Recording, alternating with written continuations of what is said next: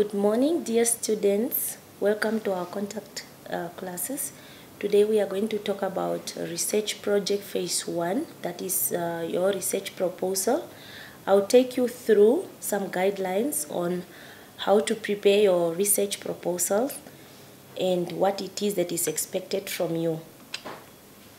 Uh, the presentation today will look at some of the reflective thinking questions, some questions that you need to think about, the important information concerning uh, research proposal, as well as the outline for, of the research proposal, and then some of the important tips that you should look out for to guide you further when preparing your research proposal. You might have questions like, what do I want to study? That is a question that most of the students ask themselves. What is it that I would like to study? Why is the topic important? You, you need to ask yourself that questions. Whenever you, you, you, you come up with a topic, when you frame a topic, you need to ask yourself, why is it important? Especially to your area of interest, and how is it significant within the subject areas covered in my course? What problems will it help solve? So you need to understand because when it comes to research proposal, you propose uh, a study that will help you solve a specific problem.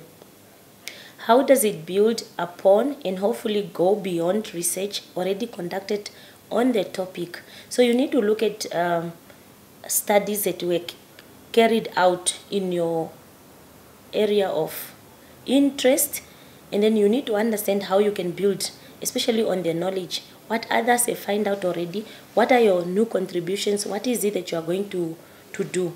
What exactly should i plan to do? That is a question that you need to understand. And can i get it done in the time available? You know we are talking about time frame.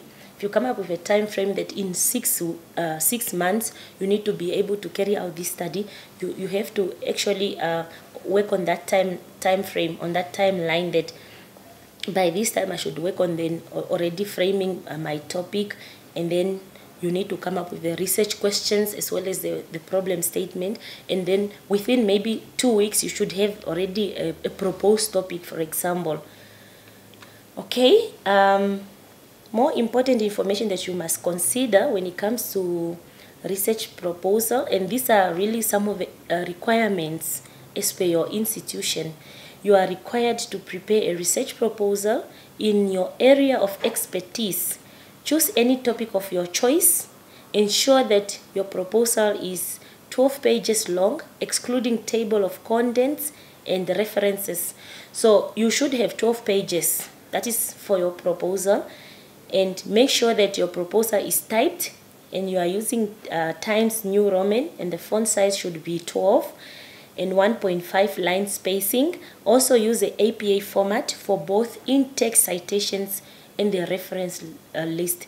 Very important, you have to, to reference, you have to credit source of information. Even if you paraphrase, make sure that you use the in-text citation as per the APA requirements. Looking at the research proposal, it should be presented in three sections we have section one that is uh, introduction you have to introduce now your topic that you have to do it there. Give a bit of background information so that we understand where is it coming from what is happening uh, what what is trending. That is you talk about it there. What current status you know current situation. And then section two there is a literature review. Here you have to review literature that has been carried out. You know, studies that were done already in your area of interest. You, you do it here and we'll further discuss all these sections. And then section three is methodology. You have to talk about the methods that you are going to use. Remember, a proposal is a proposed idea. It's not something that you have carried out already and also it should be presented in future tense because it's an idea that you are proposing and you are going to carry it out. Don't forget the references, also very important part of the proposal. Remember I spoke about in-text citation as well as a reference list that you need to compile at the end of your proposal. Looking at section 1, which is introduction, we have to, we have background of the study, there you must give the background. You have to explain um, where is it, where is your study, what, what uh, where is your study coming from, why that study. You need to actually justify your study there. Statement of a problem. These are also some of the subsections there. We have statement of a problem, questions or objectives of the study, rationale or significance of the study. All these ones, uh, these subsections will further look at them and the limitations of the study as well as the limitations of the study and don't forget that to define operational terms. So we have a sections under definitions of terms. Uh, with regard to the background of the study, here you are required to provide the necessary background or context for your research problem. You need to give a necessary background. You should provide a brief but appropriate historical what backdrop. You know, you need to look at the studies that were carried out. What what were their findings? In you know briefly, provide the contemporary context in which your proposed research question occupies the central stage. You should identify key players, you know, the expert in the field and refer to the most relevant and representative publications because they are experts also in various fields of study. In short, try to point your research question in broad brushes. At, at the same time bring out its significance. Very important. You need to bring out the significance. Why is it important? Why that specific study? And also what you need to take note when it comes to statement of a problem you first of all need to give a brief background about the problem. Your your readers need to understand what is what is before you state the problem actually you need to give a brief, a, brief uh, background. What has been done? Maybe for example training has been offered teachers were trained and then later on you should then state the research problem. Here you need to state it. What is the problem? Perhaps the problem could be teachers are not integrating ict you have to state it based on the on the on the background that you presented. Give a more detailed explanation about the purpose of the study than what you stated in the introduction which means relate to the literature. Because the moment you mention that teachers are not integrating ICT in their teaching for example you need to back it up. That statement should be backed up with literature. Perhaps you can reference uh, other authors those who have mentioned the similar problems, for example. This is particularly important if a problem is complex and multifaceted. So, um, if it's complex, you really need to back it up with uh, whatever arguments you make or statement should back it up with uh, literature there. You should describe the major issues or problems to be addressed by your research. What can your study do about the research problem? That is very important. At the end, once you, you state the problem, you need to also indicate what your study will do regarding that specific problem that you mentioned. Now, be sure to note how your proposed study builds on previous assumptions about the research problem. So that is very important there. When it comes to questions or objectives of the study, you cannot do both you have to choose one. You can either do the questions or the objectives. So either way, you should state the research questions then if you are opting to go for research questions or then if it's objective, then you should state the objectives in an attempt to answer uh, your research questions, you know, the research problem that you have mentioned earlier because what you, the information you are going to find out should be able to assist you answer the, the, the, the the stated problem. Choose one, not you shouldn't do both. You should choose one, either objectives or research questions there. I have noticed that most students they they write even the heading appears like questions or objectives. You have to choose one. If it's questions, you just say questions of the study. If it's objective, then we should present it as objectives of the study. Place your research question in the context of either a current hot area or an older area that remains viable you know. Sometimes you are curious. You know when you do research we are curious about uh, specific ideas. Uh, what is trending? What is happening? Current uh, situation current status. This you know you then have to make sure that um, it's either a hot area or an older area that remains viable. Indicate the main research questions or and sub questions where applicable so it depends on your study as well. I always advise students that you can have even minimum let's say maximum three questions. If you have one main question then at least have maybe two main questions and maybe uh, for your project research now then have maybe four or three sub questions don't have too many research questions also. Then it makes it a bit vague because you need to be specific you have to to to, to have uh, and that is what we are going to talk about when it comes to the boundary of the study. Indicate the main objectives where possible. If you have then opted for the objectives of the study you need to indicate. Rationale or significance of the study. This one's also we need to you cannot do both. They are all uh, referring to the importance of the study. Why is your study important? Maybe rationale you really want to give that um, background why is it important?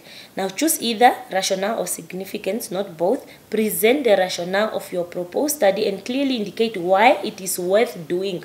Why that study? That is the question that should run at the back of your mind all the time. Why my study? Why this study? Why is it worth doing? Answer the so what questions because your readers out there would would then ask so what? Why this study why should anyone care? You know you need to think about these questions. Why the study should be done? Very important question. The specific purpose of the study should be presented there as well and you should describe how the anticipated result will impact future scholarly uh, research the, the, the theory, practice, and also the forms of interventions, or is it now for policy making? You know, you need to indicate why is it important. Is it important that you are now going to? Uh, it might be, you know, you must present it in future tense. It might be important to policy makers. Perhaps you are advising the policy makers, or the, to practice, like for example, maybe to teachers, so that they can start either. Um, they can start either practicing uh, certain um, whatever it is that you have advised them to do like strategies. Maybe you are coming up with new strategies that you would like teachers to adapt in their teaching. So you have to be specific. It's important to maybe the teachers so and so and so for this and that. Okay? When it comes to limitation of a study this one, very important, you need to indicate that you should explain how you plan to go about conducting your research. Like for example, this specific study is limited to two teachers, maybe two secondary school teachers. Clearly identify the key resources, the key sources you intend to use and explain how they will contribute to your analysis of the topic. That one is very important there. And what are the possible limitations of your study? What I've seen all the years is that most of our students are placing the limitations in terms of financial constraints. This you should avoid. And time. You should have time. You need to make time for, the, for your study, for your project. Because it's not a, a, a funded, um, if you are looking for funding, then you can say you might need um, financial support, but you cannot say that uh, you cannot make use of financial constraints as a limitation for your project research. Because you have to make sure that whatever, how many schools that you are choosing, where do you want to go to, do to collect data, that place should be accessible to you. You don't have to take a place where it requires you to spend so much money to reach out to your participants. And you need to make time. You cannot say i will not have time to carry out the data. You need to make time to carry out the data so that you can do your study. The limitations of the study. This ones here you need to set the boundaries of your proposed research in order to provide a clear focus. Perhaps you are saying that your study will only include maybe the grade 7 learners, is just an example, but you will exclude the other grades. Maybe, for example, grade 5 and 6, they are not going to be part of the study, or you will not include all the teachers in the school, but then you will only look at the grade 7 teachers. Is just an example there. So you have to set the boundaries of your study. Where appropriate, state not only what you will study, but what is excluded from the study. You also need to indicate, as, as the example given to you earlier, you need to give an example of what you are going to exclude or what is excluded from your study, like in terms of the participants, in terms of the um, place, like for example, schools, um, all those ones you, you need to give uh, a specific, you need to be specific here. What will be included in, in terms of the exclusions, what is it that you are not going to include in your study. Maybe you will not include these uh, specific schools in that specific uh, circuit. So you have to indicate it here clearly. And when it comes to the definition of terms, if necessary, you should provide definitions of key concepts or terms, the operational terms, terms that are going to be used in your study, and you should indicate how your readers should understand them. Indicate how certain terms should be understood in your study. Depending on the number of terms, this can be presented in a table format just to make it uh, more uh, presentable so that they are not just scattered around. But when it comes to definitions of terms, you have to make sure that these are operational terms, terms that you are going to use in your study. You cannot define research here. It's not a term. If you are doing a study on perhaps teachers' use of ICT in the classroom, perhaps you would want to, to define ICT, you would want people to understand uh, the technology, um, you want people to understand uh, specific terms, you have to define those terms. Let, let us now look at section 2, which is literature review. Um, this literature review should be, it has to be relevant to your topic. It must be logically and clearly presented. At least eight separate uh, cited materials for your proposal because you just have to give a brief um, information on the literature that you are going to review for your main project. Review and uh, synthesis of prior studies related to the research problem under investigation.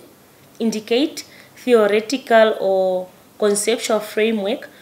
Which one will you adapt or adapt for, adopt or adapt for the proposed study? I, I've noticed that most of the students, they don't understand this. A theoretical framework uh, is those uh, theories that were already proposed by the, the, various theorists and you want to place your study based it on those theories. And the conceptual framework, you can develop it uh, actually by developing concept from your study or from certain theories and you would want then to adapt it for your study. And then you have to indicate how you have adapted or adopted it in your study so that your readers can, can understand that. Uh, we continue with literature review. What you need to ask yourself, there are some questions that you need to think about. What do the authors agree on? Whenever you are reviewing literature, you need to look at that. What is it that they are agreeing on? Who applies similar approaches to analyzing the research problem? So that is how we present the, the, the review of the literature. What are the major areas of disagreement? The controversies or debate. Whenever you identify what it is that they agree or they disagree, what is it that they don't agree? They all don't agree when it comes to certain aspect. You have to point it out. Pay attention to the verbs you use to describe what an author says, does. Example, Simon Pendy 19 asserts, you know, demonstrates, argues. You need to know when to place such verbs. I noticed that most of the students, you like using according to Simon 2019, for example. Avoid so many of according to. Just be more specific.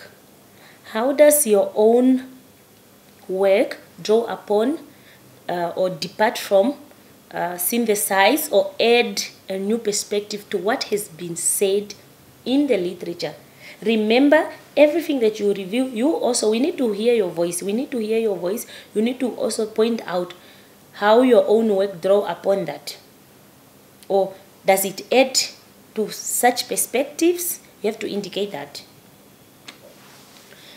Moving to section 3, uh, which is methodology, here we need to look at the research design.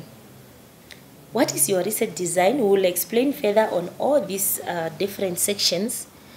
You need to look at the population where applicable. You should indicate the population, the sample and the sampling procedure, instruments or instruments that you are going to use to collect your data, and then the whole data collection procedure, the procedure that you are going to follow when collecting the data, data analysis, as well as ethical consider considerations because that is very important in research. Let us look at um, methodology in more detail. This is the decision to why the research design and methods used were chosen over other options. You have to indicate if you are using qualitative or quantitative or both mixed method. This is where you have to make that decision in research. You should indicate qualitative or quantitative methods. Which ones are you going to adapt or employ for your study? Demonstrate your knowledge of alternative methods. Make the case that your approach is, is the most appropriate and most valid way to address your research question. If you are going for qualitative, you have to justify that. Why qualitative and which types of qualitative, which method in the qualitative approach like for example case study and then you should again indicate is it a multiple case study or is it a single case study? You have to be specific when it comes to research. Research has to do with consistency and you must be specific and you have to state you, to justify your your methods. No there is no wrong method but it depends on how you are going to adapt it or employ it in your study. You cannot talk about qualitative and then when your readers are reading your study they pick up methods that uh, that is supporting quantitative. Perhaps you can maybe then use a mixed method research. Make the case that no you should demonstrate your your knowledge of alternative methods as well. That you have to. And make the case that your approach is the most appropriate and most valid way to address your research question. So don't forget what we discussed in section 1 all these three sections, we have to put each and every one of them into consideration. Whenever you finish presenting your section 1, as you move to section 2, you need to think about what you presented in section, in section 1. The same with section 3. Make the case that your, your, your approach is the most appropriate and most valid way to address your research question. Decide on the method and approach for qualitative and quantitative research. Qualitative analysis, your method section needs to be more elaborate. Like for example, if you are opting for qualitative analysis, data collection processes in qualitative research has a far greater impact on the result as compared to uh, quantitative research. So very important, you need to take note of those, especially for the students who are more interested in carrying out qualitative research or qualitative study. The method section typically consists of the following sections. Like in, in quantitative now there is a design it is uh, your, your questionnaire study or a laboratory experiment. What kind of design do you choose? You have to be specific as well there. Subject or participants who will take part in your study what kind of sampling procedure do you use? You know, there are different sampling procedures. All this further information, you can find them in different research books. The instruments, you need to take note of those. What kind of measuring instruments or questionnaires do you use? Why do you choose them? Are they valid and reliable? Ask yourself such questions. Are they valid? Are they reliable? Can they answer your research questions? Procedure How do you plan to carry out your study? What activities are involved? How long does it take? The procedure that is what you need to explain when it comes to quantitative uh, research. And then your references. Very important, you need to use APA referencing style for in-text citations in the reference list and list only the literature that you actually use or cited in your proposal. Don't just place any author there because you came across them. Let us now look at some of the common mistakes in proposal writing. There is plenty of them. I've just selected a few. There might be some that you can come across. You have to read further, but these are just some of the common uh, mistakes that uh, our students are making whenever they are writing their uh, research proposal. Failure to provide the proper context to frame the research question. Sometimes they don't. You really need to provide a proper context to frame your research questions because they need to be specific and they should uh, you they should be able to answer your the problem that you have indicated that you have identified. Some students also, we are looking at some of the common mistakes such as failure to delimit the boundary conditions for your research. Some of them, they don't even look at that. When it comes to the delimitation sections, they leave it blank. You have to delimit the boundary conditions for your research and also failure to cite landmark studies, especially those studies that are really in the area of your interest. Failure to accurately present the theoretical and empirical contributions by other researchers. I always urge my students credit source of information. Reference. You have to reference. We it's not our ideas, yes. We construct our own knowledge, but we need to credit the previous research, people who have published before us. We need to credit source of information. Failure to stay focused on the research question. Some students divert. You have your specific research questions. Perhaps your questions was, how do teachers implement uh, online formative assessment, for example? Why do teachers implement? So don't divert from that. You must be focused on those questions. Failure to develop a coherent and persuasive what? Persuasive argument for the proposed research. You know coherence.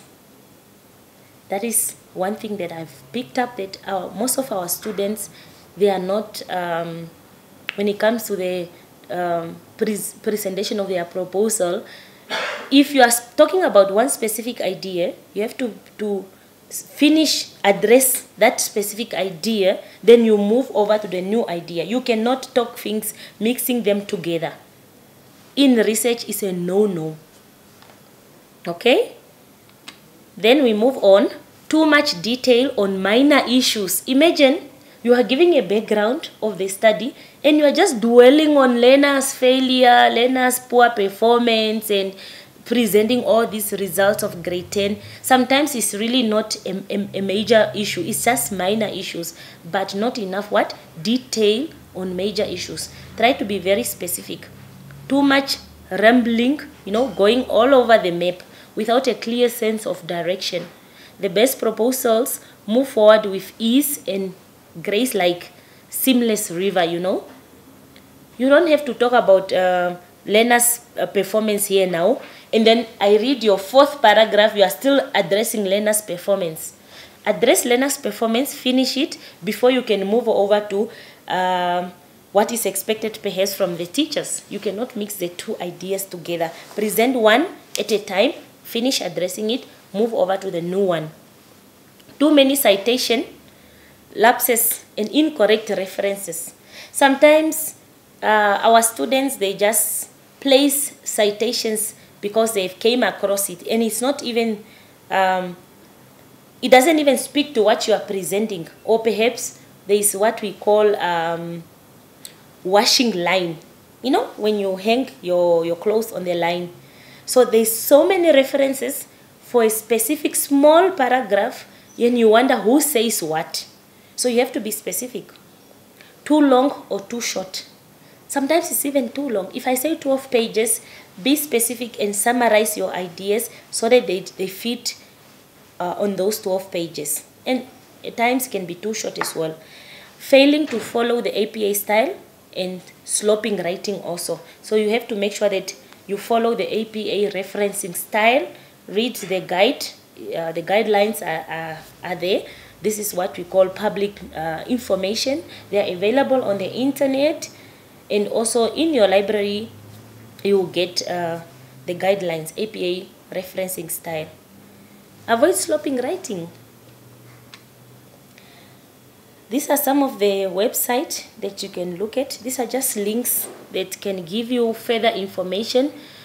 You can um, you can just press on your keyboard control enter then you can actually access that link and get more information you know you can search the internet when it comes to research proposal proposal writing and you get further information.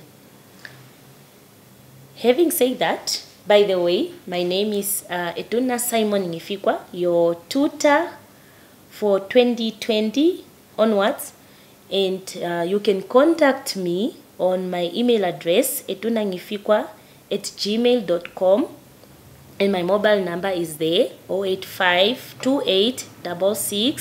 812 and the best time to contact me is between 8.30 and 4.30 i always say to my students drop me an email you might be looking for me on the telephone then you have challenges with the network but if you drop me an email I can easily read it and send you a reply.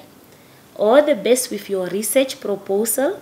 You can see on the pictures there uh, just some of my research books that I personally um, acquired. You can read different research books, qualitative research methods, quantitative mixed method. I also have an APA manual. As a researcher, those are your resources that you need. You need to have your notebook, you need to have your stationaries. You have every time just write, write and write and do not stop writing.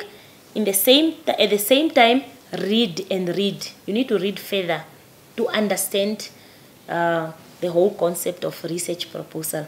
All the best with your research proposal and I thank you.